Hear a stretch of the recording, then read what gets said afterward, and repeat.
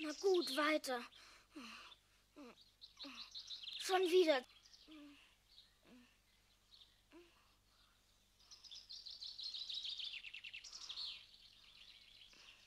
Das gibt's doch gar nicht. Irgendwie muss ich doch hier rauskommen. Was hast du denn vor, Kleine? Hä? Warum läufst du denn dauernd in der Hufspur hin und her? Was sagst du? Wieso Hufspur? Das ist doch der Abdruck von einem Pferdehuf, in dem du da rumläufst. Pferd? Was ist denn ein Pferd? Das ist ein Ding. Du weißt nicht, was ein Pferd ist? Du machst aber halblang. Ich habe jedenfalls noch nie ein Pferd gesehen. Du vielleicht? Ja?